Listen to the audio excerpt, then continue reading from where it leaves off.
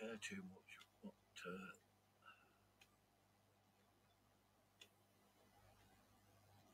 uh, what Kevin and Graham say. CJ Veckel, every single one of the Calvinists that I've ever encountered in my life accuses me, and Nicholas has done it in the past, but we're going to bury the hatchet and try again. Every single Calvinist does this. Faith is a work. No, we're not saying again. Synergism, okay. John MacArthur, you vile scumbag.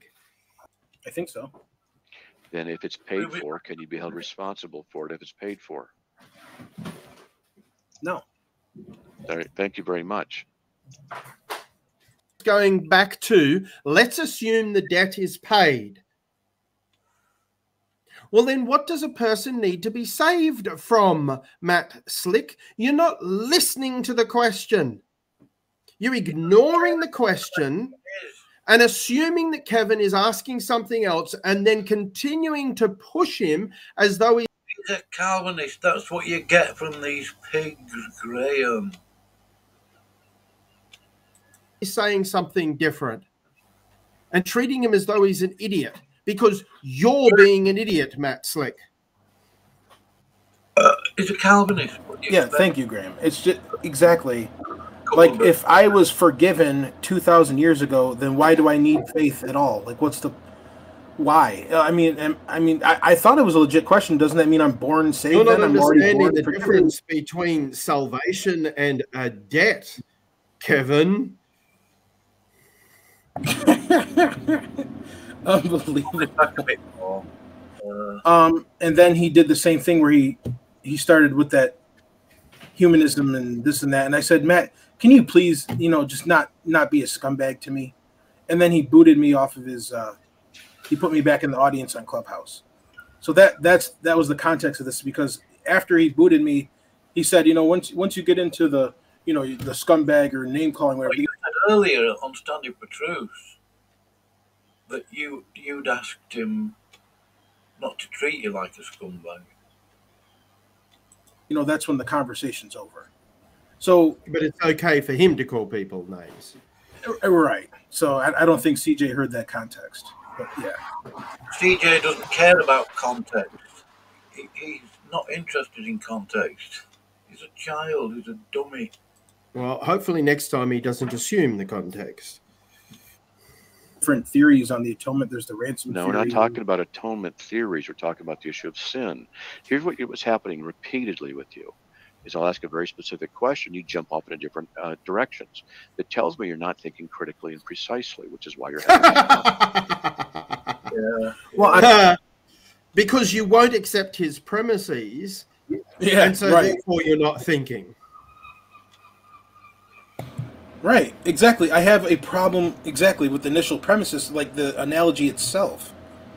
Like it's, yeah, he's not. But he's not listening to that. I, I know, I know. You'll see. He ends up he ends up booting me again. And by the way, this time I didn't say please don't be a scumbag or I didn't do any of that this time. He just boots me. I'm tr- I try to keep open mind. I, I try not to come off as arrogant because there's more than one way to look at these issues. if a legal debt is paid, can a person be held responsible for the legal Yeah, debt? see, that's this is the issue. He keeps going back to let's assume the debt is paid. Well, then what does a person need to be saved from, Matt Slick? You're not listening to the question. You're ignoring the question and assuming that Kevin is asking something else and then continuing to push him as though he's saying something different and treating him as though he's an idiot because you're being an idiot, Matt Slick. Yeah, thank you, Graham. It's just exactly like if I was forgiven 2,000 years ago, then why do I need faith at all? Like, what's the why? Uh, I mean, I mean, I, I thought it was a legit question. Doesn't that mean I'm born saved? You're not? I'm already understanding born the forgiven? difference between salvation and a debt, Kevin. Unbelievable. Oh boy. Yeah, this is a completely pointless conversation. He's not listening to a single thing you're saying. I know. Yeah. Technically, no. Is sin a legal debt? I think so. Then, if it's paid for, can you be held responsible for it if it's paid for? No. All right, thank you very much. But the thing, but my thing is, is that your debt is not paid for until you come to faith. So then, what you're doing is offering us humanistic philosophy. You're saying that that's not paid. Ah, so what you're doing is by disagreeing with me, you're being a humanist. Because how Yeah, dare you challenge the godlike and divine Matt Slick? What he says is God's word. His analogies are God speaking. You vile scumbag. Yep. So first, I didn't mind that. So he says, "What you're doing is you're showing human philosophy," but then he actually goes and says, "You are you are a humanist." Watch. Or let me finish. The debt's not paid for till you do something. The debt was canceled. See again. Here we go. The debt is not paid until you do something. So Do. here, the Bible Do. pretend that faith is a work, right? That's right. That's right. Thank you for proving exactly the point that I've been trying to make for weeks now to these moronic brain dead Calvinists.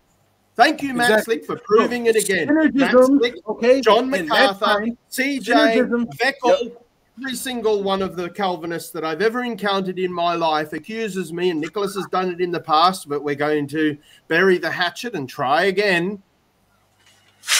Every single Calvinist does this.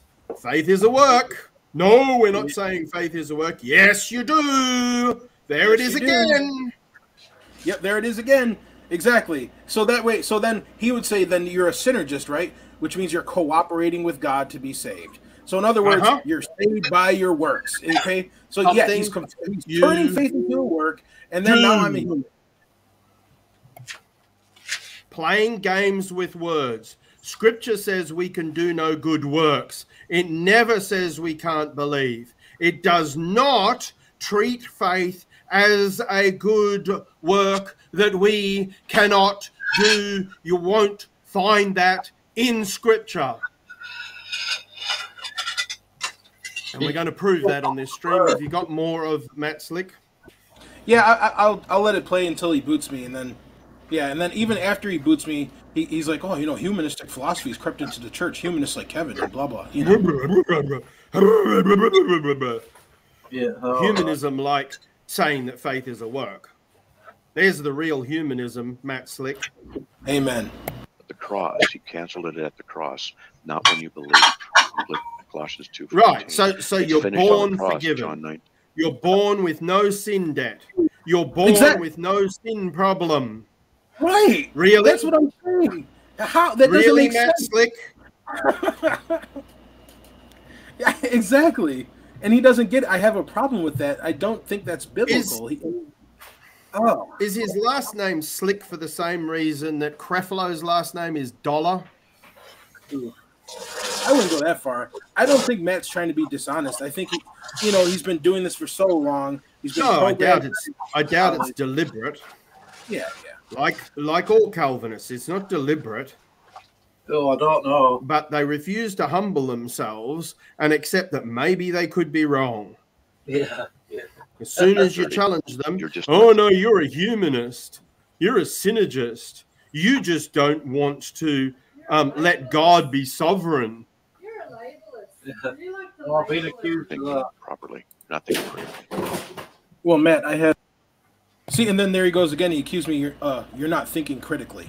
See, Yeah, because you disagree at with it, least so I you're don't know, not like ten thinking scriptures I critically. could think. And he didn't even listen to what you actually said. I know. Would he? But yeah, this doesn't last much longer. He's going to boot me here in like a few minutes. Think of it say that you, you're not forgiven until you come to Him. I didn't say forgiveness, did I? Did I say the word forgiveness? Isn't that what atonement is? Forgiveness? No. Atonement is different than forgiveness, which is different than justification. What is atonement? Uh, atone means to make something right, doesn't it? To be Okay. An atonement is something that is done in the context of what we're talking about, a blood sacrifice, that then makes the wrath satisfied. In the Old Testament, it was a temporary thing because it was pointing ahead to Christ. So the wrath is dealt with by atonement. Forgiveness is the canceling of the legal debt. Justification is the imputation of righteousness to you. What's the legal debt? There are three What, different. what, what's this legal debt that he's talking about that is separate to sin? That is separate to.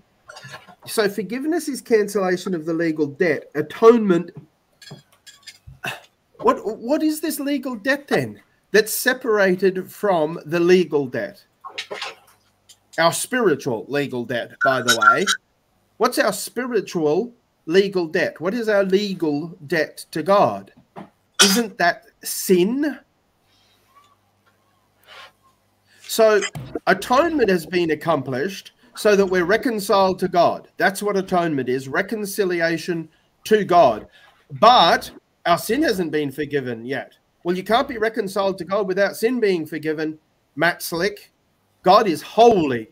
See, another attack on the holiness of God. It always comes back to is God holy? Do you hold the holiness of God in the highest place? Or have we got, oh, the sin debt's been taken care of, but not the legal? What on earth does that mean? This is more gobbledygook from. Where's the simplicity that is in Christ here? How can you separate those things so that you're reconciled with God, but you're not, are you? Yeah, it. I know it's it's weird, right? Like it, it, it that doesn't it doesn't make sense to me. How it's. I, I hate to do this, right? But it's it, like going back to Charles Jennings, how he completely separates justification and sanctification. Like they're oh they're completely divorced, completely separate. They don't go hand in hand. It seems like Matt Slick is doing the same thing with the death of Christ. Hmm. Oh no, you're not saved, but you're atoned for. But what? How can you separate being saved from being atoned for? Mm-hmm. Can't. You know what I mean? It's bizarre. Mm-hmm. Charles Jennings is uh, No sense at all. No. But it makes sense if you You don't have- understand that it's a gift that's offered and it's a com- total package. Yeah. Um. Amen. precision in them, you'll continue to be confused like you are. So, But I, I still think that there's a problem with the way you're looking at it, though, is because if, let's say, okay, the way you're looking at it is true, and my debt was canceled 2,000 years ago, that means I'm born forgiven then. I'm born saved. no, because we have to deal with the issue of what's called the now and the not yet. When people say that you're born forgiven, well, then oh, you have to take your own thinking and apply it. When Jesus, 2,000 years ago, bore your sin in his body, were the sins paid for 2,000 years ago? no, no, no, no, no, I no. don't- I don't think See what he's died. doing there? He's now imposing on you your challenge to his position, saying that's your thinking. It's not your thinking, it's your challenge about his thinking. Were your sins paid for 2,000 years ago, Kevin?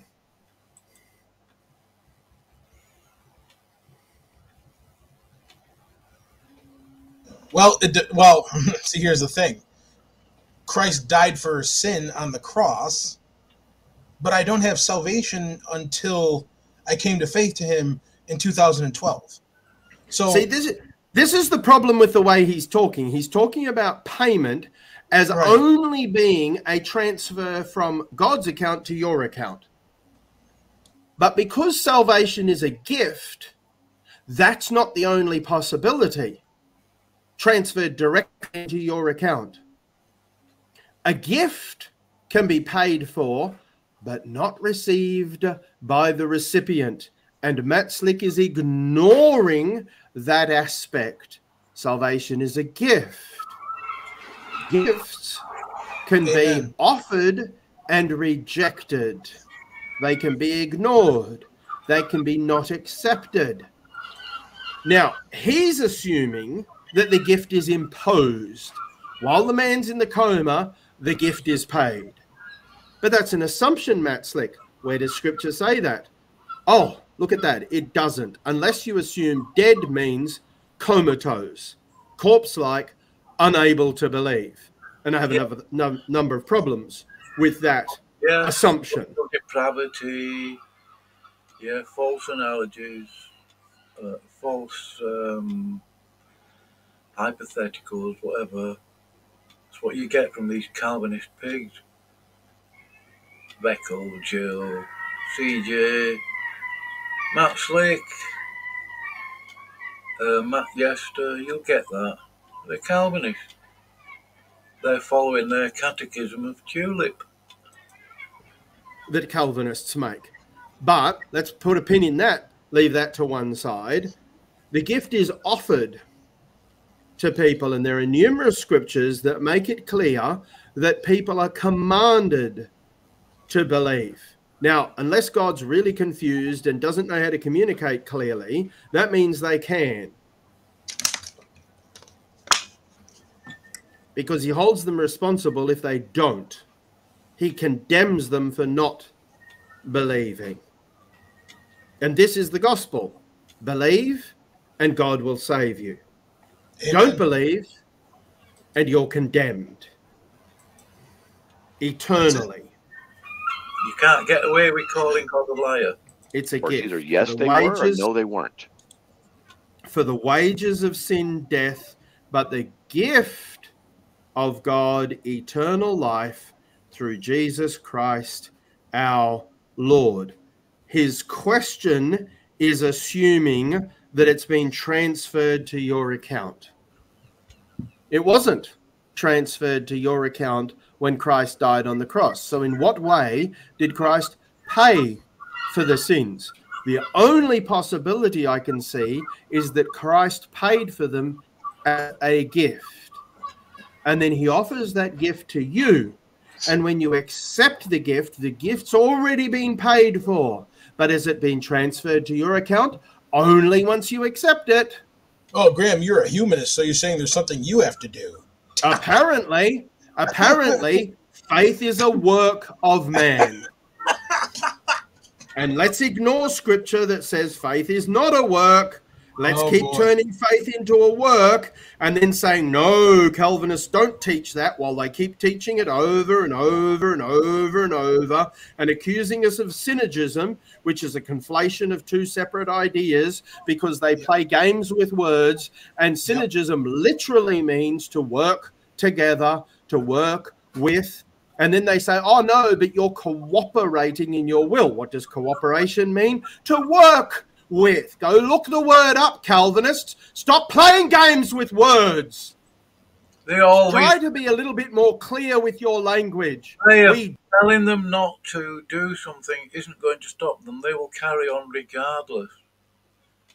They will play about with your words all day and they will drive you round the bend. I don't let them. They are disgusting. That's what they are. That's what they do. Bring them to scripture. Don't argue their points. Don't start yakking about synergism, monergism to them. Bring them to scripture. Tell them to prove it. Show it. Illustrate that. Where does it say? Where does the scripture say this? And try not to delete the italics. That might help. Do not cooperate with God in our will, you blasphemous heretics. Yeah, We submit, yeah. we surrender. And they're succeeding in the sense that they're getting you angry, Graham. Don't let them. We totally give ourselves over to Him. All the work is His. Stop lying about my position and stop lying about the biblical gospel. You're asking too much. Calvinism does not have a gospel. There is no gospel in Calvinism. Calvinism does not need Jesus Christ, Graham. There's nothing biblical about Calvinism at all. At all. Not one bit of it. It's basically Catholic Augustinian Gnostic Manichaeism, Calvinism is synergism. It does not need Jesus Christ. It is a parasite, a virus.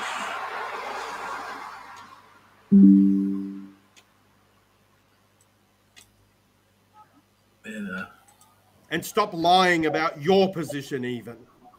No, they won't. Oh, and stop conflating issues. I mean, doing stuff like that it doesn't help the conversation at all, right? Like if you're coming at something like you have a presupposed theological standpoint, you're holding to a systematic that was developed. Uh, you know, really, it started with Augustine. It was influenced by his Manichaeanism, anyway. But you're coming to the, you're you're coming with this presupposed theological idea tulip that was created after the Reformation, by the way, and then you're talking to someone that doesn't hold to your tulip, and therefore, because you believe that God God has to irresistibly grace you and bestow upon you faith to believe, that if you if you say no, you can believe, then that you're turning faith into a work that uh, you know that's that's not really fair to do because you're you're you're presupposing your idea of what faith is on somebody who doesn't believe your idea of what faith is. So then what you do is you accuse them of synergism because it doesn't align with your systematic. Don't you see how disgusting that is? And we'll see John MacArthur do it shortly. Yeah. Let's just, you know, how about how about non-Calvinists? How about we start label slapping Calvinists and see how they like it? You know, let's start let's start inventing theological terms uh, to describe people we disagree with, and we'll just start calling them that, and we'll see how we'll see how accepting they are of our labels, because apparently we have to accept theirs. Until you come to Christ, no. Okay. Okay, we're done. Okay. Okay. You're just a humanist. That's all. I'm a humanist. Oh, You are. so so he does. He No, believes I'll the change debt it. is Of course- paid for of course it's before you come not. to Christ.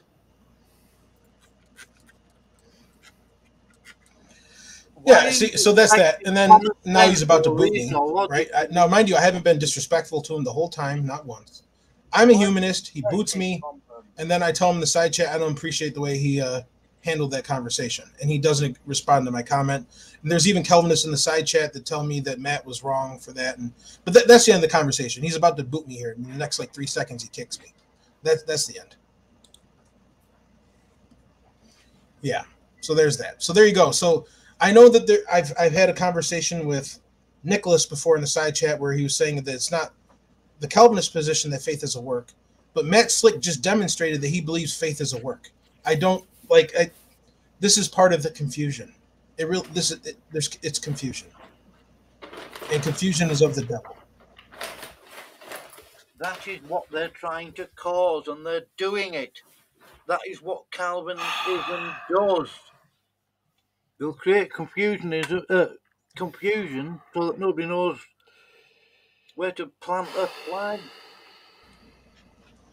You all right over there, Graham? Practically stupid. Well, Nicholas is is backstage. Oh, okay. Yeah. Okay, Well- if that's what you want. to I mean, here here's the thing. Did you want to?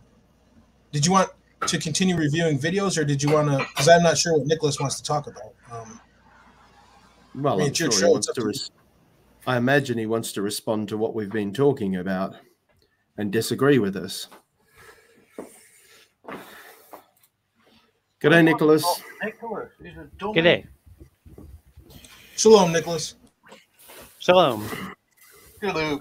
Um, no, there's there's um, something else I'd rather um, I don't know if it's any more pleasant, but um, rather than the doctrine, because um, you know I I'm glad we've started discussing things again, and um, there's this email that at least the way it's in my inbox, it looks like it was only to me, and it included the Streamyard link, so I appreciate that, and um, but I guess I'll just be kind of direct with you, Graham. Like the standard I hold for like where I would go on a channel that's a Christian channel, I would normally not go on a channel where there is the sort of like yelling and um, quickly jumping to such derogatory language as like what was just going on here, you know?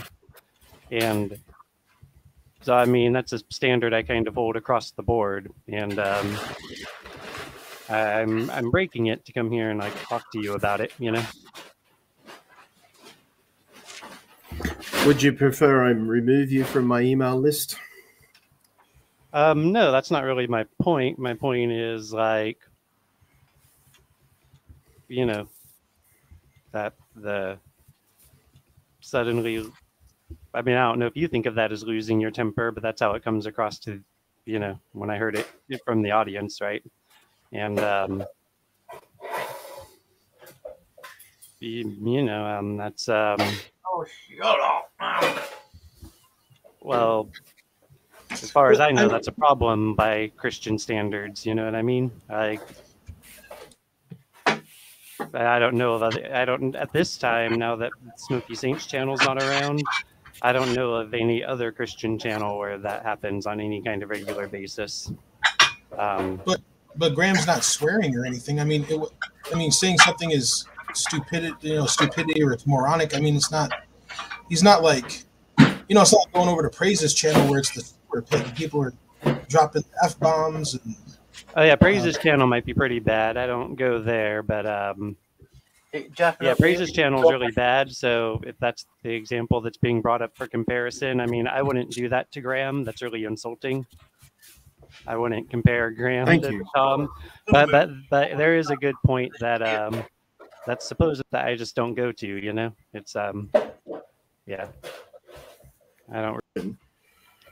Yeah, I mean, I hang out with a lot of speaking kind of like that kind of thing. You know, away, That the gospel is you I was critical of Kevin's mockery and some of his and so um conducted Shut up, shut you're up. not easy to speak with. I mean, they come with the right stream together, and the one Mhm. that I just brought you, you don't think you should.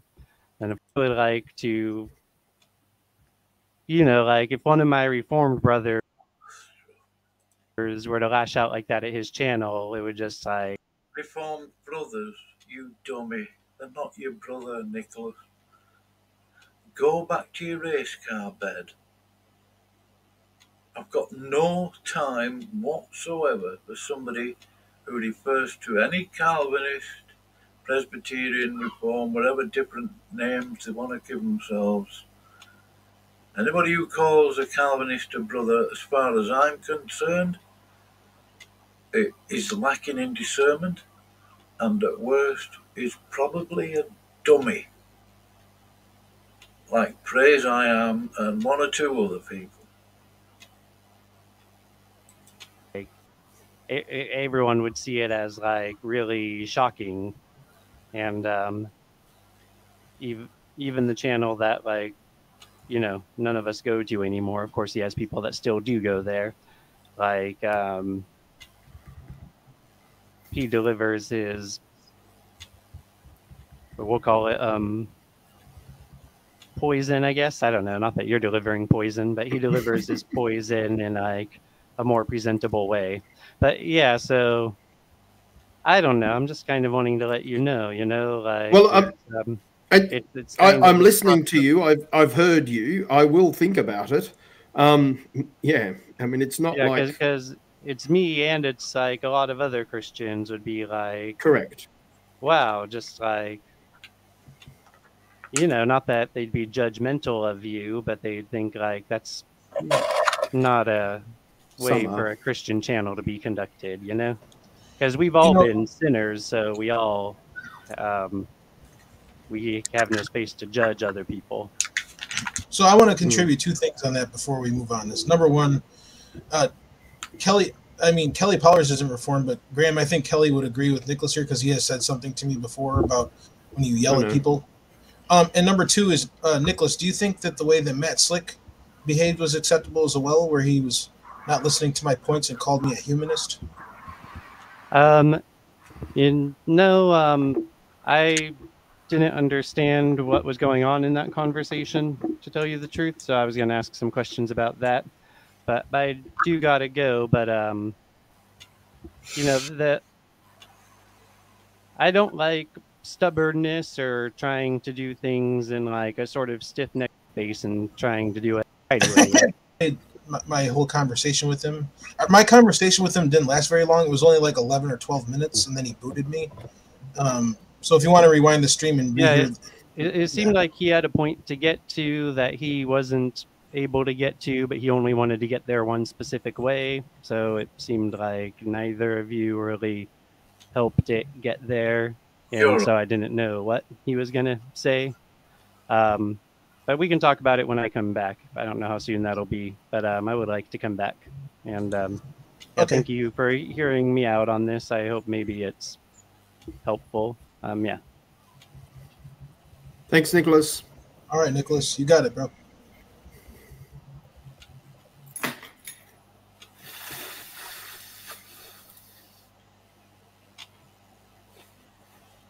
Um, where was I? I wanted to share this one next. This is where I was planning to start until I heard that you just talked to Matt Slick again. So this is John MacArthur, This most hated doctrine and he's talking about total depravity, but he's conflating in total depravity everything the Bible says about us being able to un- not do any good works with the Calvinistic idea of total depravity. Therefore, we can't believe. then has to be followed with the fact that sin brings judgment. So this is your condition. You And I, I agree with him that people, the most hated doctrine is that people are sinners. If, if he left it at that, I would agree with him. And that's a biblical position. But then he adds in on this other stuff. You're a sinner and you are headed for eternal judgment in hell. That is so offensive. So, this is the most hated doctrine. But at the same time, it is the most distinctively Christian doctrine. It is the most distinctively Christian doctrine.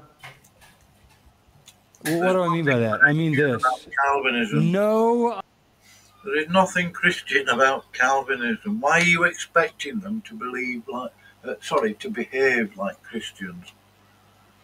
They keep calling themselves Christian. Even Jill the other day made a comment about Revelation, and then he, and then he, the other half of his comment, and I don't care what you Christians say. I've got a screenshot of that. Even the Calvinists realise that they're not Christian, but they keep calling themselves that. Little slip ups like that, Joe, you dummy. Liar, deceiver. That's what Calvinism is lies and deceit. other religion has this doctrine. Did you hear that? No other religion has this doctrine. Because all other religions are some form of works salvation. Now, I want you to notice all other religions are some form of work salvation. Later, he's going to say all false forms of Christianity, and then he's going to define that as including the idea that you can believe. Follow the train of thought here because he doesn't lay it out in exactly the same way that I just did so that you can follow it. You have to go, oh, well, if that's true, then link that with the next thing that he says that he claims to be true, and then the next thing that he says that he claims to be true. He's teaching that faith is a work. If you're able to believe, that must be a work. And I don't know anywhere where scripture teaches this. It doesn't. Us being able to believe is something that God created us able to do. That's a grace that He has given us, if you will.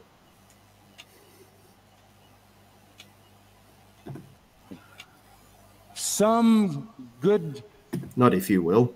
Let's that's what it is. It's a grace that God has given us, the ability to believe. Amen. Can I, um, Right. Calvinist, if you're going to assert, you know, total depravity equates inability to believe, you have to prove that biblically. And I don't see in the Bible anywhere where it's clearly, it doesn't have to be stating these exact words, but just saying mankind is unable to trust God. Where is this concept taught in the Bible? Now you can go to scriptures like 1 Corinthians 2:14, but if you exegete it in context, that's not what it's talking about. So I would like biblical proof for this doctrine of total inability to believe. Because I You won't get it. It's not possible. It's not there. They're just going to lie about you. They'll just keep doing it and doing that and lying and deceiving, straw manning, leading you up the garden path, giving you false, uh, accusing you, uh, well, throwing false dichotomies at you. Synergism versus monergism. If you're not a Calvinist, you're Arminian or semi-Pelagian or Molinist, and they will never stop. They can't because they have to go to scripture. They would certainly have to leave Calvinist doctrines behind. Calvinism is a virus, it's a parasite. Please wake up to it. I don't believe it's biblical. And that's my problem with Calvinism, with the tulip, is that it's built on this faulty premise that man is unable to believe. Now, when you disprove that, the whole tulip falls apart and there's no need for any of it. Because I believe man is depraved, we're, we're sinners, we're in bondage to sin, but does not equate inability to believe. So if you take away this point, if you take away the T, the rest of it falls apart because T is necessary for the other four points of this systematic to be true. Yeah, Systematic Theology, a book written by uh, Wayne Grudem, a Calvinist. Shocker. Hold on a minute. Demonstrate to me from the text where it shows man is unable to trust in God. They can't. Why are you even asking? Can achieve salvation, can gain favor Achieve, All other forms, achieve, it's an achievement. I haven't achieved anything. every, every other religion is a form of works righteousness. Achieving salvation, Uh, gaining favor. Hang on. the penny's going to drop. Without faith, it is impossible to please God. Gaining favor? You mean like earning? Or do you mean like receiving it as a gift? John, that sounds like conflation to me. with the deity or can cooperate with God. Oh, cooperate. Yes, that's right. Another one of the favorite Calvinistic buzzwords that covers a multitude of sins. It covers working with God, which is the literal meaning of cooperating. Oh, but you cooperate in your will. Well, that's actually not what we believe. What we believe is that we surrender, we submit. If you want to call that cooperation, but at best that's confusing, Calvin. Please stop it because we don't. They're saying that a person A needs to cooperate with God to supposedly achieve salvation. God is the God of salvation, not us. He needs no assistance from us in the salvation issue.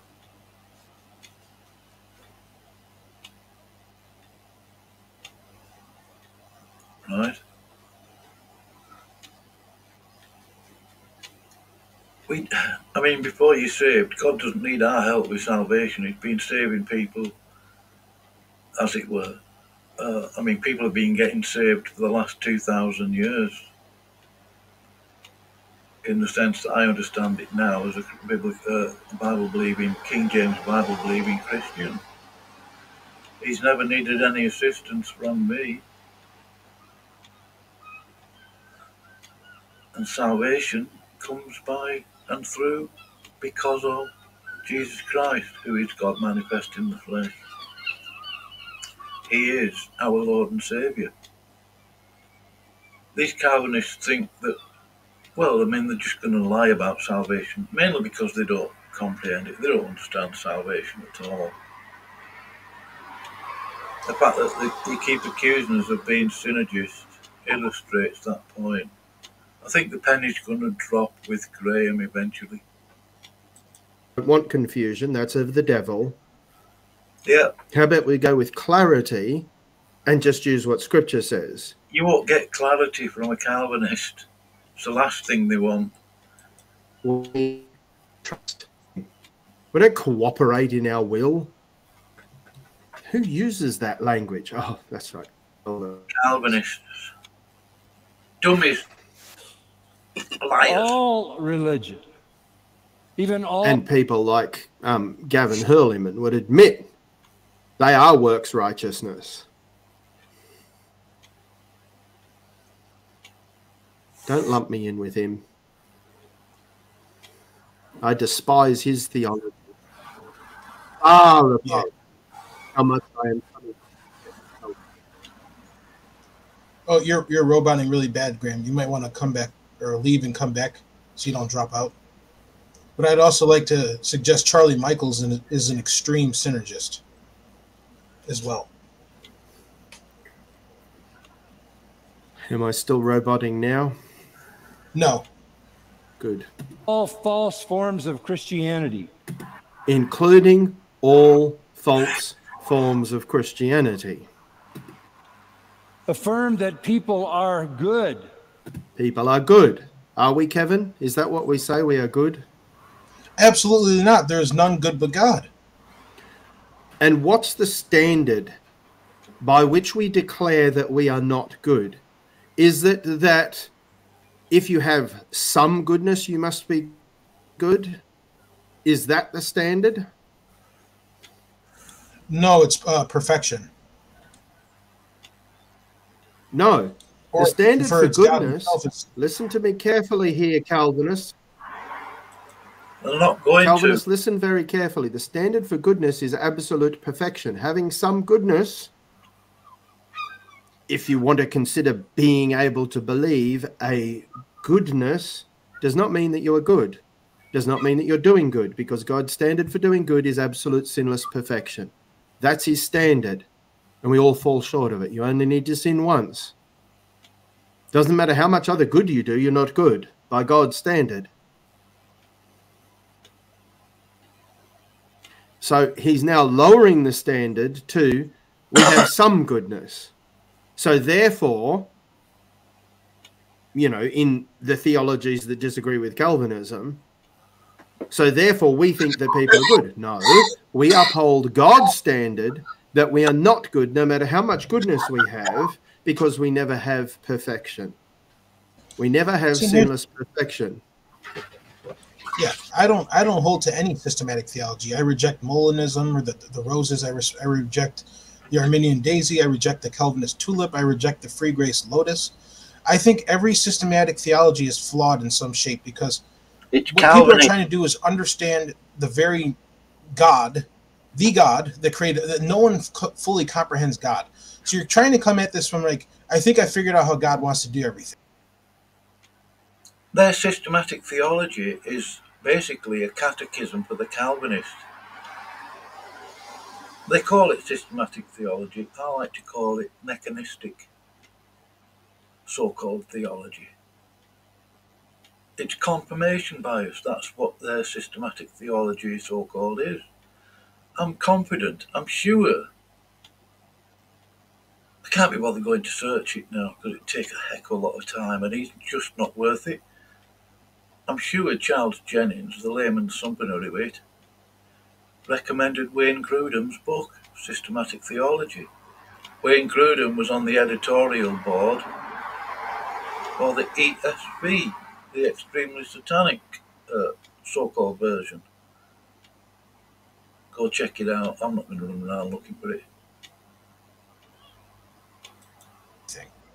And then you're building a systematic on the premise that you've built. For example, Tulip is built on the premise that man is unable to believe and can't do good, and they have a faulty definition of death and they have a faulty definition of good, and they build a systematic theology based on that presupposition. Yeah. You know, if you uh, were able to destroy uh, the T of tulip, from what I can gather, I'll have to look into it a little bit more. Calvinism falls apart. because the whole of their so-called their systematic so-called theology is based on total depravity. And uh, the Arminians have done the same thing. But then they introduce this this doctrine of prevenient grace that they've invented, where prevenient grace is what frees your will so that you can believe. Again, a faulty assumption that your will is in bondage and therefore it can't believe. Nowhere does it teach that you have an inability to believe. And see, every systematic theology comes with presuppositions that they build their, their systematics off of. So I reject all of them. Let's just stick with scripture. Let's be sola scriptura. Throw out the tulip, throw out the daisy, throw out the roses, throw out the lotus. Let's just go to the Bible. What does the Bible say? Yeah. Go to the Bible, the King James Bible, Kevin, which you seem to uh, despise. That Graham likes to uh, delete the italics from. Yeah, interesting that you falsify your own narrative, really.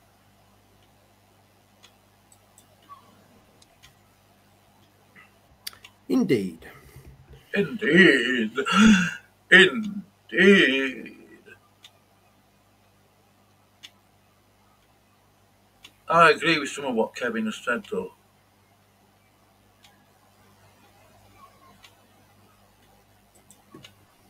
or have enough good in them, a prevenient kind of grace that allows them to contribute to their salvation. that allows them to contribute is trusting Christ contributing to your salvation. What are you contributing? What are you putting into the pot when you trust Christ? What are you adding to salvation? You don't understand the biblical gospel, John MacArthur. The biblical gospel is trusting Christ, is accepting that you contribute nothing. It's a total surrender to Him. But sure, let's conflate that with the work salvationists and the people who think they contribute something.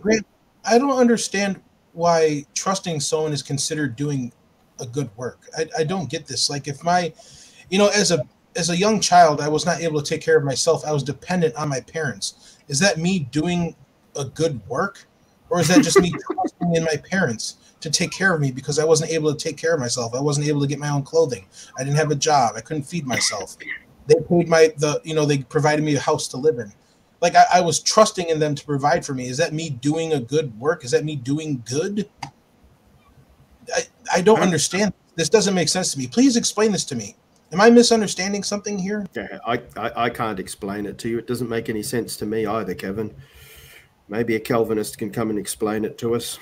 Oh, Ruth, seriously, you're going to ask a Calvinist to explain something to you? I mean, in one sense, yeah, I mean, you know, get the so called version of it. Then you'll go and ask another Calvinist. They'll give you a slightly different version. And then you'll ask a third and a fourth and a fifth, and they'll all come up with something different. And they'll ju- all they're going to do, all that's going to happen is they're going to cause confusion. Saying that you're going to keep them to scripture and pull them in the, into scripture and, and to prove and illustrate their point of total depravity, uh, you know, tulip, blah blah. They're not going to do it. They're not going to be able to. You can't back up Calvinism from Scripture.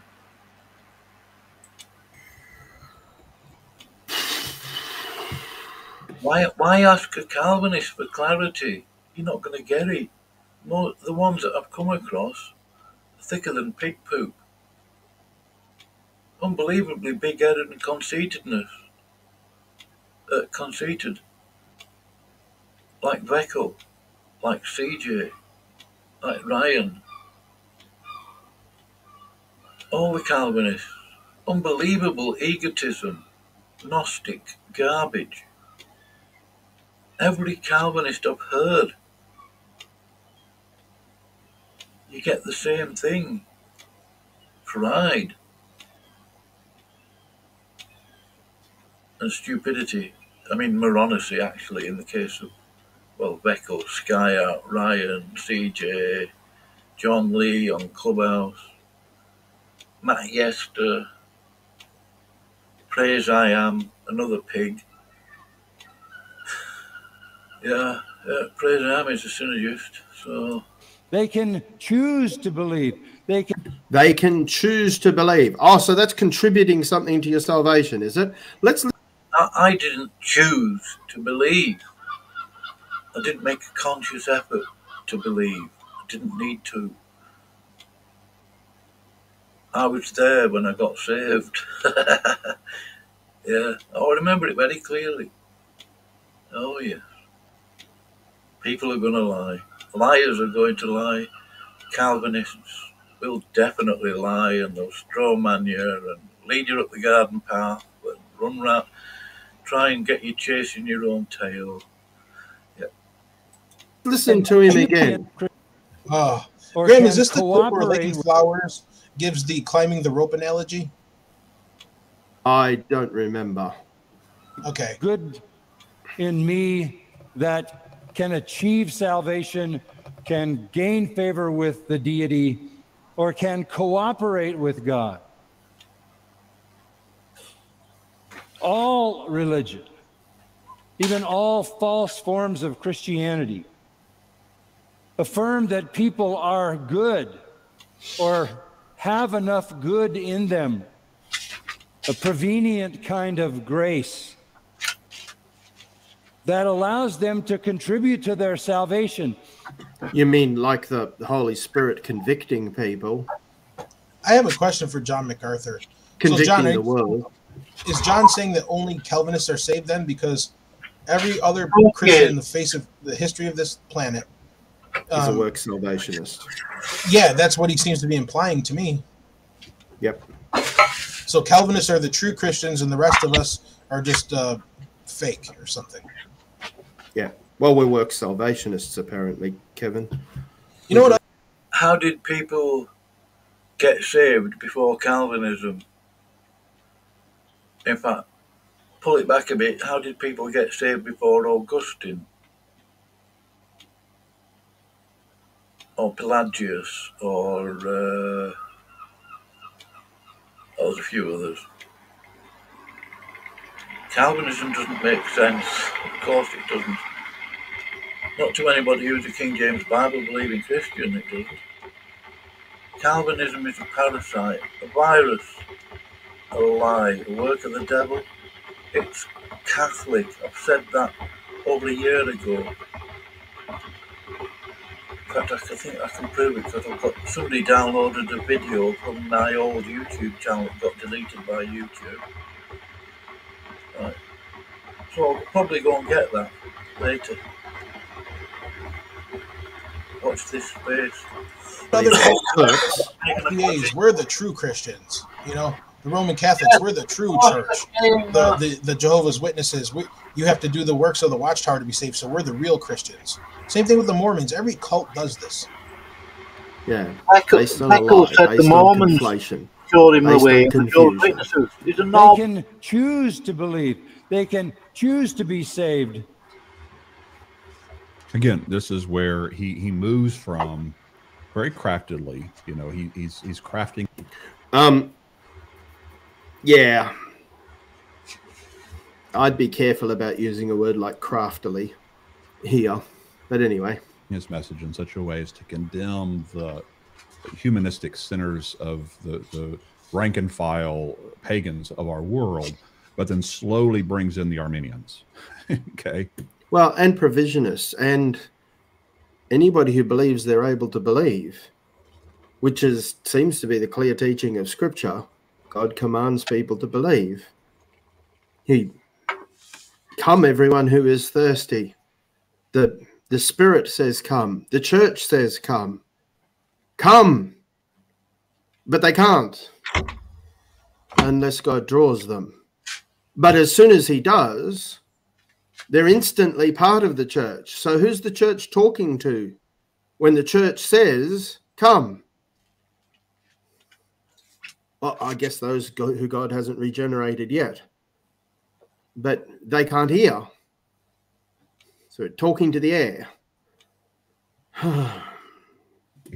as as, as pretty much just as bad uh, with this prevenient working of grace that somehow cooperates or somehow uh, you would say contributes to their salvation. I, I don't know any good Arminian who would say that that faith in, in God contributes to our salvation because faith doesn't do anything. Faith is a filthy rag apart. The only thing Christ saves. Christ's the only one who saves. Who does he choose to save? Those who trust in him. He doesn't have to. He's not obligated to save those who trust in him. He chooses to do so graciously. Mm. And so if faith doesn't merit or earn salvation, Hallelujah. It's not, it's not that's why I always use the pie illustration uh, that the Calvinists try to make the two choices into I mean two choices into one choice, the choice of God to save and the choice of this the sinner to repent and believe and make it all into one choice.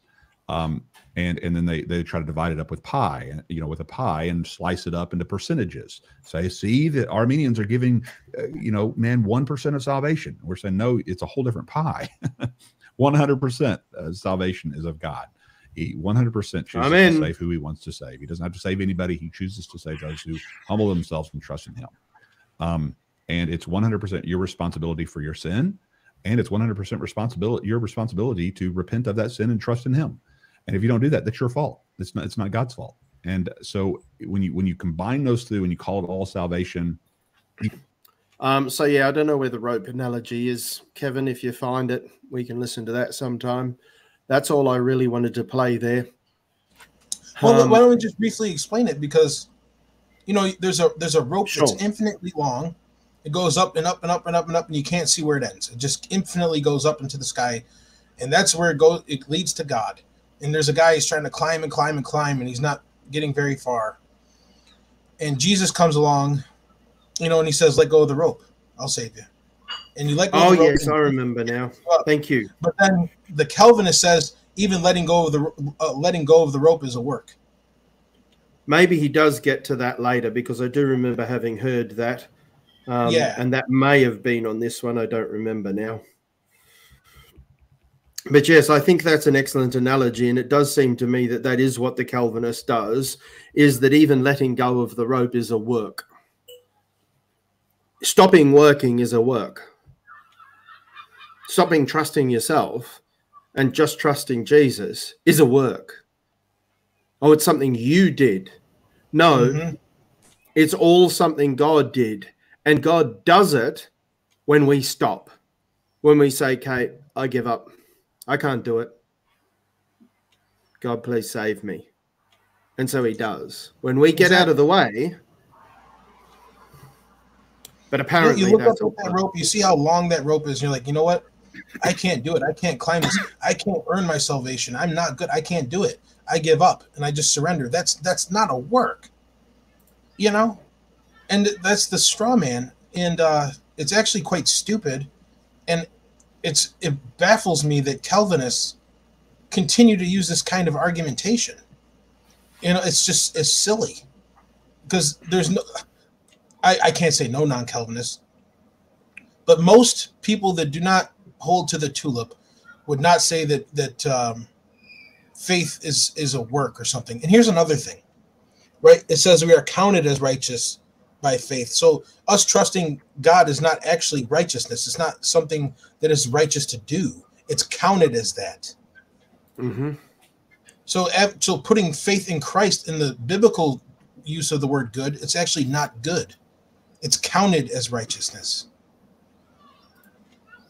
because what is good? Let's remind people, Kevin. Oh, so that's not a good thing to do? Well, yeah, but what is God's standard for goodness, Kevin? To be perfect, to never sinless, to never fall short once ever. absolute sinless perfection.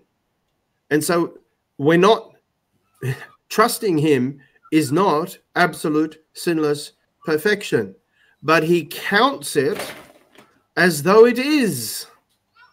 This is the glorious gospel of God's grace. It's so amazing. Yeah. You can't do it. He has done it all. And he will do it all in your life. Just trust him. Now, Calvinist, you can be offended by, oh, but there you go. It's something you have to do. God can't save you until you trust Him. Well, yeah, that's what Scripture teaches. But don't conflate do with good work there, which is what the Calvinist seems to do. and so you're about to get into monergism. So before you get into that, I would like to point out that it was shown to me that monergism is actually not a word that exists in the English language. Monergism no. is a word that was invented by Calvinists. Synergy is an actual word that they adopted into a theological term of synergism. But monergism was completely made up by them. Yeah, it was invented in the 1800s, if I remember correctly, but synergism yeah. has Yeah, been they- around since the 14 or 1500s, um, and it has a meaning outside of theology. And it literally means to work together. Two things doing something, doing work. And as we look at this definition of monergism, we'll see that there's two definitions for monergism that monergists give for monergism. So, first of all, he says monergism simply means that it is God who gives ears to hear and eyes to see. Do we disagree with that, Kevin? No. Oh, well, we must be monergists then. God gave us the ears that are able to hear and eyes that are able to see. See, but here's the thing, though. What they mean by that is that he gives that to you the moment before you believe, so you're regenerated. So, so he lies in the very first sentence. Monergism doesn't simply mean that it is God who gives ears to hear and eyes to see. It means these other things as well. Yeah, because they would interpret that as he gives you the eyes to he- to see and the ears to hear when he's about to regenerate you. They When he believe that you regenerates you. Yeah, No, no, no. When he regenerates you, he gives you ears to hear and eyes to see. Before that, you were corpse dead and unable to believe. Which is a definition of corpse that, quite frankly, is atheist. But another day, we'll get back to that one. It is God alone who gives illumination. Do we disagree with that, Kevin? Uh, no, absolutely not. No. How does God give illumination? Uh, by the gospel, hearing the word of God. Faith comes by hearing the word of God. Yep. People don't believe because they haven't heard, or they choose to reject when they've heard. But when people hear the truth, they know where to put their faith. He So gives faith us illum- He gives us illumination through the gospel. Yes, thank you. Roman, we'll get to that later, actually. Romans 10 17. So then faith comes by hearing. Oh, no, it comes by regeneration, don't you know, Paul? doesn't come by hearing and hearing by the word of God. It comes through regeneration. That's where faith comes from. Oh, you're not a very good Calvinist, Paul. It is God alone who gives illumination. Completely agree. It happens through the gospel, through God's word, through the, the, work of the Holy Spirit um, in people's hearts, convicting them of sin and of righteousness and of judgment to come. And Jesus is the light that lighteth every man that cometh into the world. He gives illumination through creation in Romans 1. Um, the law is written on our heart in Romans 2. And understanding of his word that we may believe. Ah, well, this is where the Calvinists would say, oh, we can't have understanding. We can't believe until God grants that to us. Okay, nope, disagree with that. It is God who raises us from the dead. Do we disagree with that, Kevin? No, it is God who raises us from the dead, who circumcises the heart. Do we disagree with that? No. Unplugs our ears? Ah, disagree with that. Well, Notice I'd how ask them a- what they mean by unplugs our ears. Well, yeah, that could be. Maybe we do agree. Who knows what that means? Um, but notice how there's a conflation of different issues here. So they're trying to make out that we don't think that God raises us from the dead and circumcises the heart because they believe that the dead can't believe. Mm -hmm. Because they are presupposing total inability to believe. Yeah, Let- It's a let presup- me- depravity, total depravity, total inability, total deadness. Hmm. side let me sidetrack on this for a second Calvinist, if that is true, how are we able to sin after we become a Christian since we're dead to sin? If dead means unable to listen to and do anything with, right? Unable to listen to God before we become a Christian, by your definition of death, then why doesn't that same word dead, death to sin, mean we can't sin? We can't listen to sin. We can't trust sin. Yep. If, if you're going to stick with a consistent definition of the word dead, you must teach sinless perfectionism. And I reject that. Therefore, I reject the Calvinist definition of the word dead. Dead can have other meanings. Anyway, it is God alone who can give us a new sense that we may at last have the moral capacity to behold his beauty and unsurpassed excellency. Well, I believe that he has given us the ability. The Apostle John recorded Jesus saying to Nicodemus that we naturally love darkness, hate the light, and will not come to the light. Why? Why? Why? Oh, yes, ignore the why. Just assume the Calvinistic interpretation. And since our hardened resistance to God is thus seated in our affections, only God, by his grace, oh philosophy, philosophy. Right? The scripture doesn't actually say this. This is just his interpretation, as though that's the only way to look at the passage. Oh, it's the only right way, I'm sure. Ah. Blah, blah, blah, blah, blah, blah. Now, definition. The Century Dictionary's definition of monergism may be helpful. In theology, monergism is the doctrine that the Holy Spirit is the only efficient agent in regeneration, the new birth. Completely agree. The only efficient, able to do the work, agent in regeneration is the Holy Spirit. Oh, well, I must be a monergist. Oh, no, hang on. There's this extra little bit that they tack on that the human will possesses no inclination to holiness until regenerated and therefore cannot cooperate. Ah, here we got this word cooperate again, which means to work with. Co meaning with, and operate meaning work. Let's go to etymology now. So, definition from the Century Dictionary, now etymology. The word monergism consists of two main parts. The Greek prefix mono signifies one, single, or alone, while the suffix ergon means to work. Taken together, it means the work of one. Do we disagree with that, Kevin? Nope. Completely agree.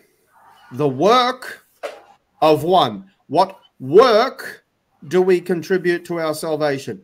None. Zero, nada. So once again, the Calvinist then assumes faith is a work. I'd like to, I definitely want to add diddly squat or diddly diddly. We can't add anything to our salvation or take away. and says very simply then monergism is the doctrine that our new birth or quickening is the work of god the holy spirit alone with no contribution and without the cooperation of fallen man which they're including faith in cooperation since the natural man of himself has no desire for god and cannot understand spiritual things and the first verse they list is First corinthians 2.14 which is paul talking to believers about operating in the natural man. Got nothing to do with the unregenerate. Believers were operating in a way where they trusted their own understanding. Nothing to do with the unregenerate. But sure, strip that one of context and then whinge and complain about context when we point out verses to you oh, you're jumping around all over the place and stripping it of the context when we're not, but sure. And then Romans 3 11 and 12, which says we can do no good in our works. I'm still None of these teach what the Calvinist is claiming all the way through there. There's a number of assumptions that goes on. Grant, can you do me a favor? Can you post the link for that um, article in the private chat? I want to go over that on my own sometime too and break down those verses they're using out of context because that might help me in my debate against TurretinFan in a couple of weeks. Sure. So there's the Because I'm sure he'll probably he'll probably appeal to those verses to teach see you can't believe, but um, I'm sure if I establish the context, that's not what they're saying. So I think that will be helpful. Thank you. Yeah, I'm blocked. Nicholas, that doesn't deal with the fact that scripture says we are dead to sin. And if dead means unable to listen to, then how are we still able to sin? You can say, well, it's not us sinning, it's sin that's in us. Anyway, I've had enough. And you're quoting Paul there. I don't really want to read Nicholas's comments. Don't hate the guy. I know I'm going to be accused of it. I just think he's totally dumb. Go back to your race car bed, Nicholas.